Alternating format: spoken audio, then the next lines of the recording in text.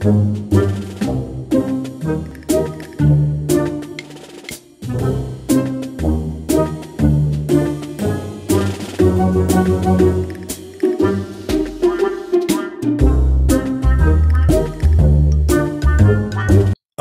തരികിടയിലേക്ക് സ്വാഗതം. ഈ ഷോ ഇരുപത്തി ആറ് എപ്പിസോഡ് പിന്നിട്ടു. നമ്മൾ ഇരുപത്തേഴാമത്തെ എപ്പിസോഡിലാണ്. ഇതുവരെ കണ്ടവർക്കും ഇതിന് അനുകൂലമായും പ്രതികൂലമായും പ്രതികരിച്ചവർക്കും നന്ദി. നിങ്ങളുടെ വിമർശനങ്ങൾ തീർച്ചയായിട്ടും ഞങ്ങൾ സ്വാഗതം ചെയ്യുന്നു. നിങ്ങളുടെ അഭിപ്രായങ്ങളും നിർദ്ദേശങ്ങളും എഴുതുക. Editor at e Malayali dot com ഇന്ന് നാട്ടിലെ ഒന്ന് രണ്ട് കാര്യങ്ങളെ പറ്റിയാണ് പ്രധാനമായിട്ടും പറയുന്നത്. പക്ഷേ അതിനു മുമ്പ് ഖേദകരമായ ചില കാര്യങ്ങൾ ഇവിടുത്തെ ചില കാര്യങ്ങൾ കൂടി പറയട്ടെ.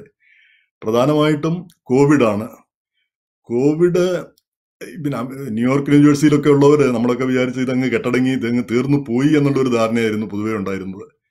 പക്ഷെ അങ്ങനെയല്ല എന്നാണ് ആശുപത്രികളിൽ ജോലി ചെയ്യുന്നവർ ഇപ്പോൾ പറയുന്നത്. അതുപോലെ തന്നെ ഇന്നിപ്പോൾ എ ബി സി റിപ്പോർട്ട് കണ്ടു.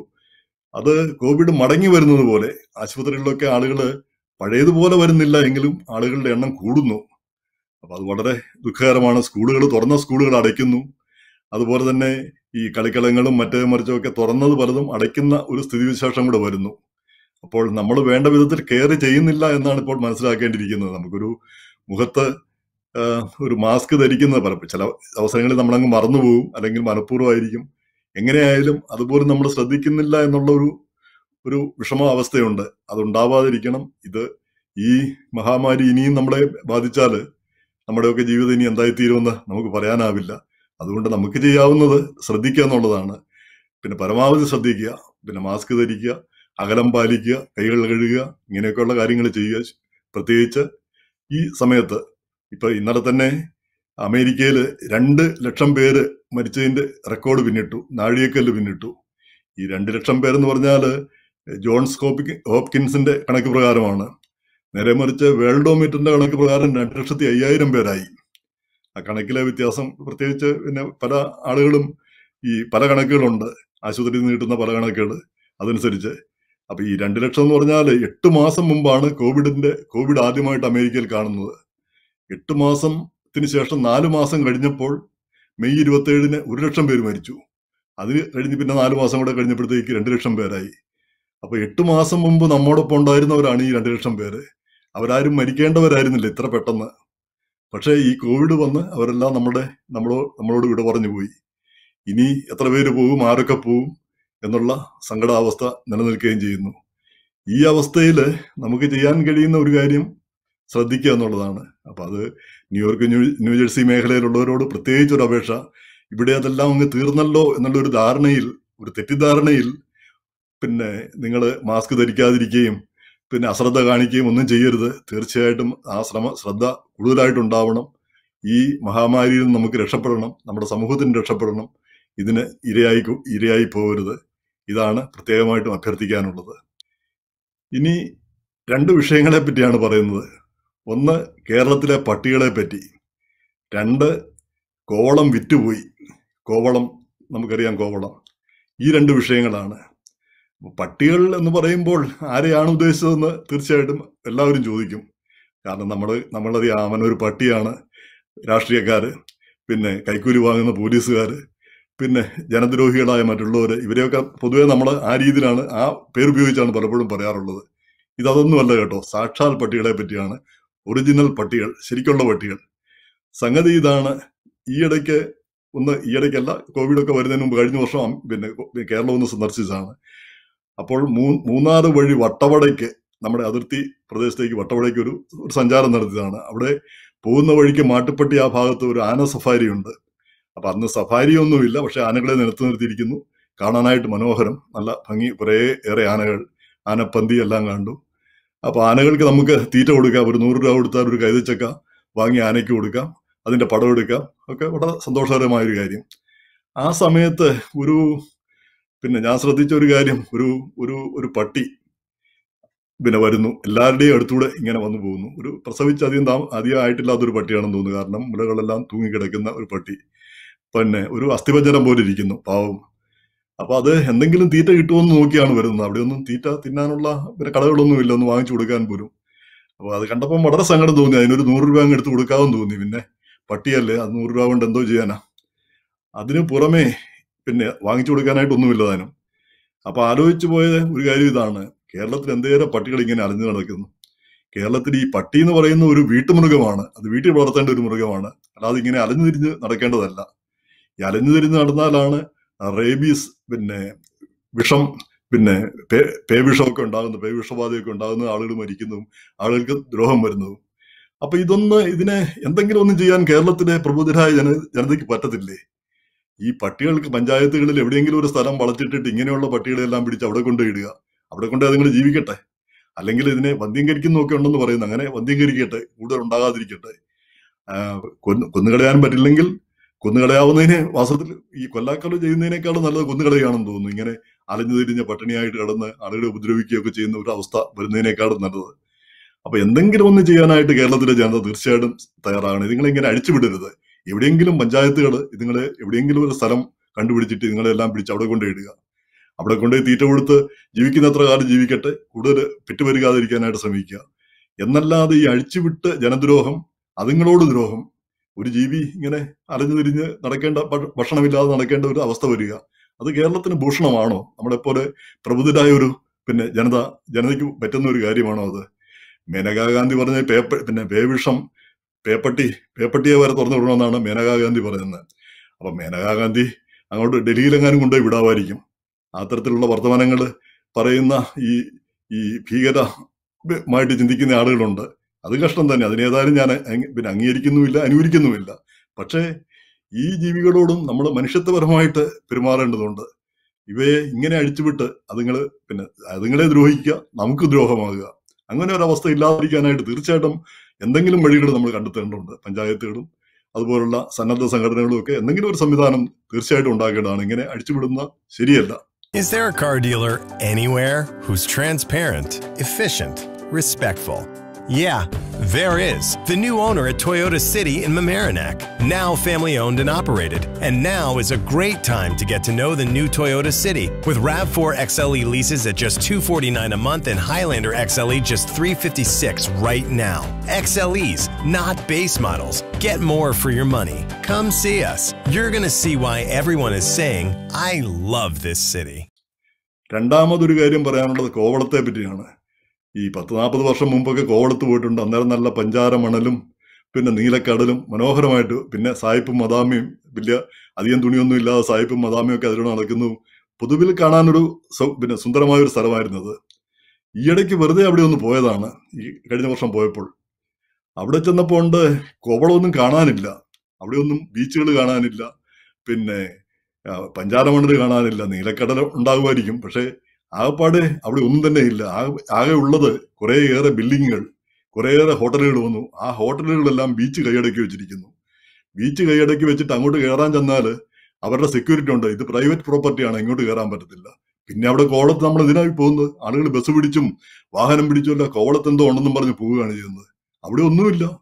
അവിടെ ഉള്ളതെല്ലാം ഓൾറെഡി അവിടുത്തെ ഏതാനും ഏതാനും ഹോട്ടലുകൾ കൈയടക്കി കഴിഞ്ഞു. അത് നമ്മുടെ രാഷ്ട്രീയക്കാരും നേതാക്കന്മാരെല്ലാം കൂടെ പതിച്ചു കൊടുത്തു കഴിഞ്ഞു. നാട്ടുകാർ പിന്നെ നാട്ടുകാരുടെ സ്വത്ത് എടുത്ത് സ്വകാര്യ വ്യക്തികൾക്ക് പതിച്ചു കൊടുത്തു. ഇവിടെ ആലോചിക്കേണ്ട ഒരു കാര്യമുണ്ട്.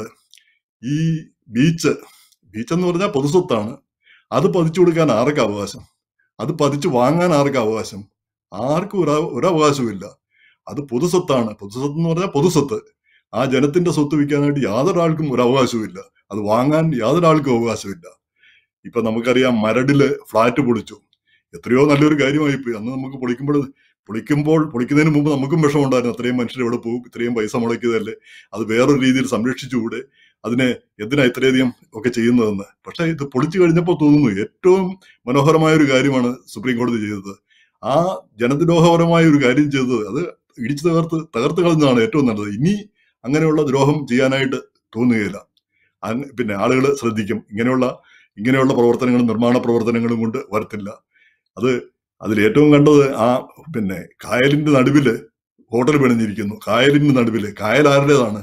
പൊതുജനങ്ങളുടേത്. അത് അത് കയ്യേറി അതിന്റെ നടുക്ക് കൊണ്ടുപോയി ഹോട്ടൽ പണിയാൻ ആർക്കാ അവകാശമുള്ളത്? അത് എന്നിട്ട് ഒരു ഒരു നിയമവും അതിനെതിരെ നടപടി എടുത്തില്ല എന്ന് പറഞ്ഞാൽ അതിപ്പരം കഷ്ടം പിടിച്ച ഒരു കാര്യം എന്താണ്? കേരളത്തെ സംബന്ധിച്ചോളം ഇതെങ്ങനെ ഇതെന്തൊരു പോക്കാണ്? ഈ പൊതുസ്വത്ത് എന്ന് പറഞ്ഞാൽ പൊതുസ്വത്ത്. അത് സംരക്ഷിക്കപ്പെടാനുള്ളതാണ്. അത് ആർക്കും ആർക്കും പതിച്ചു കൊടുക്കാൻ അവകാശമില്ല. സർക്കാരിന് അവകാശമില്ല. അത് വാങ്ങാൻ വേറൊരാൾക്ക് അവകാശമില്ല. ഇപ്പൊ കോവളത്ത് കണ്ടതാണ് അതെല്ലാ ഹോട്ടലുകളും ബീച്ച് അങ്ങോട്ട് ബീച്ചിന്റെ അവിടം വരെ അത് അവർ സ്വന്തമാക്കി വെച്ചിരിക്കുന്നു. അതെന്താ അവരുടെ തറവാട്ട് സ്വത്താണോ ഹോട്ടലുകാരുടെ?